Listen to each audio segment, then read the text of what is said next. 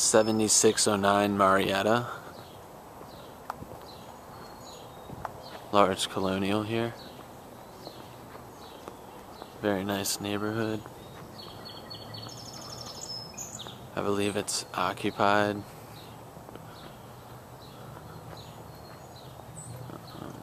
You got their like trash cans neat and everything right there. Uh, probably need a roof. Windows look decent. Backyard actually looks somewhat small, so I'm going to creep harder on that and also see what the neighbors' backyards are.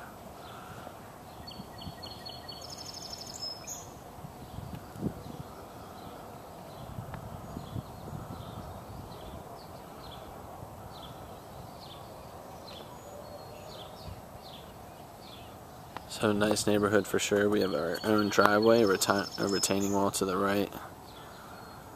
Nice colonial. Looks like it's about 2,000 square feet.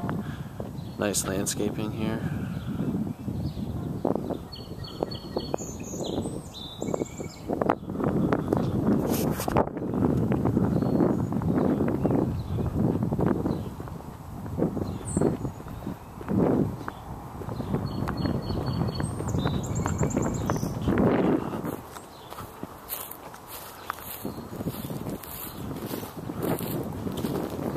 So there's our unit. Um, unit looks very old, definitely needs to be replaced.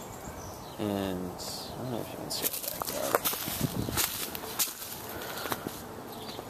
This is what the backyard looks like. So, hill on this side, and flat on that side. It's actually, I mean, it is a smallish backyard, and it seems like everybody has smallish backyards, like this guy. But, uh,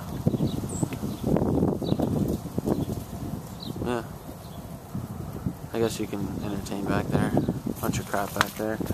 Their lights are on too, so I don't know if they're in the house right now. But I would say it's occupied. One last look at it.